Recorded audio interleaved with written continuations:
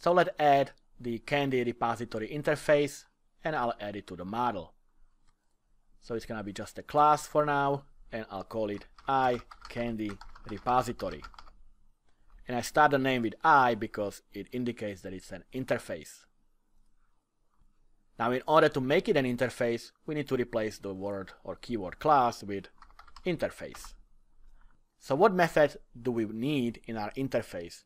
Well, we want to get all candies. And then we also want to get all the candy that is on sale. And finally, we need a method that will get a single candy based on the candy ID passed into the URL. So the first method is going to be a list of all candy. So it's going to be IEnumerable of type candy. And I'll call it get all candy. And rather than a method, I can make it a property because this is just simply gonna get all the candy.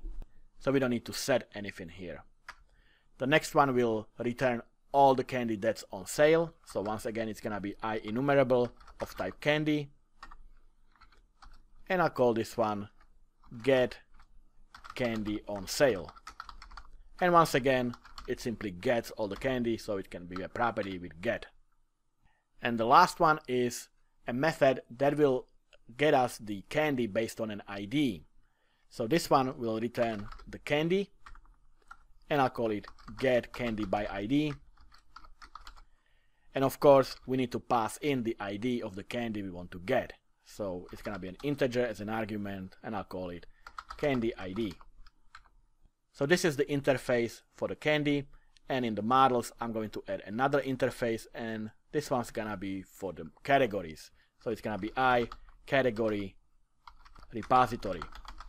And once again we need to change this class into an interface and the only thing we want to get here is all the categories. So we will return i enumerable of type category and I'll call this get all categories and I'll make it a property with just a get. So these are our interfaces and now we need to create repositories that will implement these methods and properties.